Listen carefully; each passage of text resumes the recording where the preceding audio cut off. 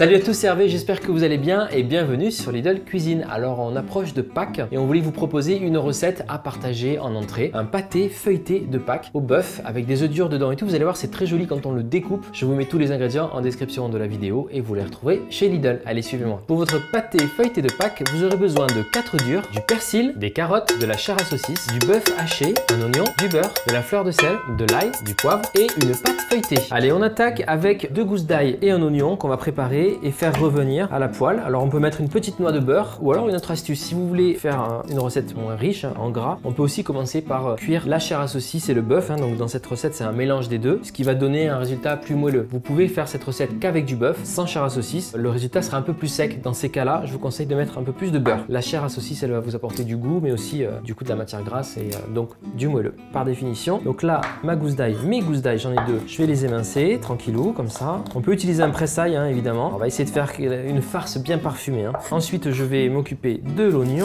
Pareil, l'oignon, on va l'émincer. On va trancher l'oignon. Alors, si vous préférez, hein, vous pouvez utiliser de l'échalote à la maison. On va faire chauffer notre poêle avec un tout petit peu de beurre. Là, je vais vraiment mettre une noix de beurre. Faire l'huile d'olive aussi, il n'y a pas de problème. Faire revenir notre ail avec l'oignon. Vous allez euh, pouvoir euh, aussi directement mettre un peu de, poivre. Je vais pas saler puisque la chair à saucisse est déjà salée en fait. Finalement, je mettrai pas de fleur de sel dans cette recette. On a ensuite les euh, carottes. Les carottes, on va les râper. Dans le pâté de Pâques, on peut mettre donc plusieurs types de légumes. Euh, par exemple, des feuilles d'épinards, euh, petites pousses d'épinards fraîches, ça marche très bien. Ou de la carotte râpée. C'est histoire de pas avoir que de la viande, puisqu'on pourrait même faire un pâté de Pâques végétarien en utilisant uniquement des légumes et par exemple du soja qu'on hacherait comme ça, comme de la viande hachée. Et on va râper les carottes. Bon, je vais utiliser ce râpe carotte, ça va me faire gagner du temps.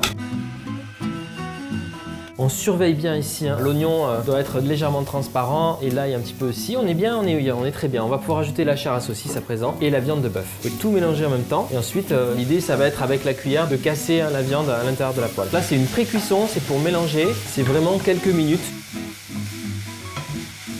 Là, ça me suffit. On va ajouter les carottes qui vont, elles, cuire avec euh, la cuisson au four. Je vais réserver ma farce dans ce bol. Voilà, on va tout mélanger ensemble avec euh, le persil haché. Je vais hacher le persil. Alors, je sais qu'il y en a qui vont euh, mettre la farce, la viande crue sans la pré-cuire. Moi, j'aime quand même bien la, la pré-cuire pour être sûr du résultat. Là, le persil, j'en ai mis un bon paquet, un bouquet entier. Et on peut mélanger. J'ai du persil plat et du persil frisé ici. Si vous avez des jeunes pousses d'épinards à la maison, c'est top aussi à ajouter dans cette farce. Hein. Allez, on va ajouter le persil. On a une farce qui est bien colorée. On a les légumes, la viande, euh, c'est assez complet. Vous mélangez tout comme ça dans le bol. Alors plus vous mettrez de légumes, euh, plus effectivement le rendu sera léger. Vous allez voir, ça va nous faire un gros feuilleté. Pour 8 personnes, c'est très bien. On va pouvoir prendre un moule à cake. On va céder d'un moule à cake hein, pour faire le pâté. On a les œufs qui sont durs, donc je les ai déjà préparés et calés. 9 minutes de cuisson dans l'eau bouillante. Vous les passez dans l'eau froide pour pouvoir arrêter la cuisson et enlever la coquille plus facilement. Vous en prévoyez un œuf pour deux personnes, c'est très bien. Si vous voulez mettre deux œufs de plus, vous pouvez aussi. Tant que ça rentre dans le moule, est permis on y va, on prend ce qu'il faut, deux pâtes feuilletées. La première pâte feuilletée, vous allez garder hein, le papier cuisson pour le, démoulage du pâté, ce sera très bien. On l'étale un petit peu, l'idée c'est que ça rentre dans le moule, yes c'est très bien. Et on va bah, chemiser hein, notre moule à cake avec cette pâte feuilletée. Selon la taille de votre euh, moule à cake, une pâte feuilletée pourrait suffire, hein, si c'est un petit moule. Là j'ai un, beau moule à cake, je vous dis j'en ai pour 8 personnes, c'est très bien. Il me faudra deux pâtes feuilletées, c'est sûr. Vous voyez, la pâte feuilletée est bien à l'intérieur du moule. Je vais remplir avec une première couche de farce. Vous lissez bien pour avoir un, niveau euh, homogène et on va venir mettre les œufs durs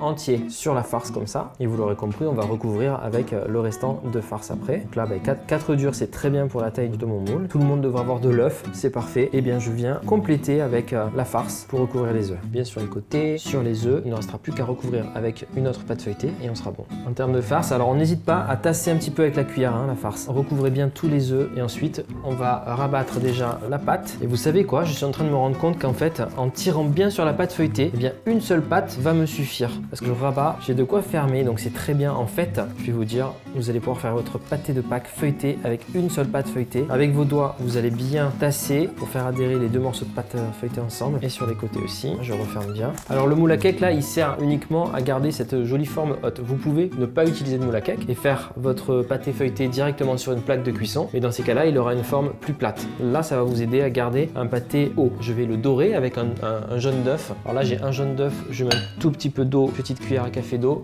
un pinceau de cuisine, on mélange. Vous pouvez, alors comme sur une galette des rois, venir avec la lame d'un couteau, juste avec le poids du couteau, sans appuyer. Hein. Vous pouvez venir faire un petit quadrillage sur le dessus, ce sera joli. Et dans l'autre sens, ça va faire des losanges.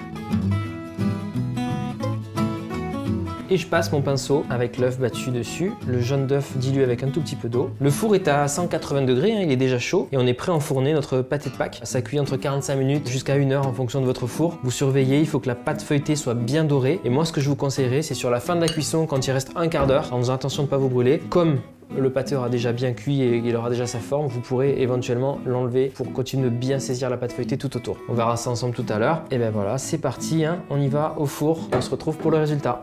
Et le pâté de Pâques feuilleté est prêt. Donc regardez, on a une jolie croûte feuilletée bien dorée. Encore une fois, n'hésitez pas en cours de cuisson, vous ouvrez le four délicatement, vous soulevez le pâté de Pâques comme ça. C'est jouable, hein, vous avez vu, et il va se tenir. Euh, vous allez pouvoir le continuer de le faire cuire sur une plaque pour avoir les côtés également bien dorés. Hein. C'est ce que j'ai fait. Donc là, j'ai les qui sont bien dorés. Et donc ce pâté de Pâques, on va pouvoir le couper en tranches. Attendez qu'il soit froid ou tiède en tout cas pour le découper. Il peut y avoir beaucoup de vapeur à l'intérieur et utiliser un couteau à pain. On va transposer notre feuilleté sur une ardoise, une planche à découper et on va pouvoir couper donc une tranche. Ah sympa, j'adore entendre le bruit de la pâte feuilletée. Écoutez, je crois que j'ai coupé dans l'œuf, c'est parfait ça.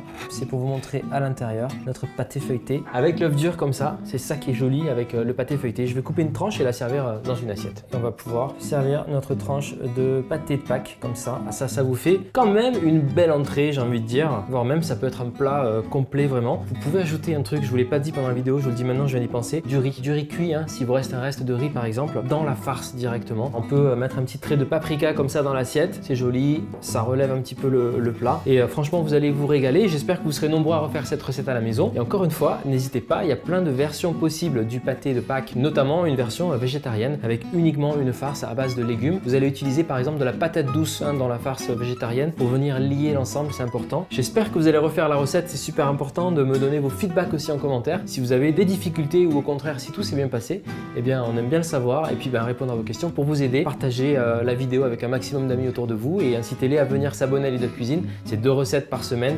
Ne les loupez pas. Franchement, il y en a des très très très bonnes à venir. Et puis, ben, joyeux Pâques à tous. À bientôt. Ciao.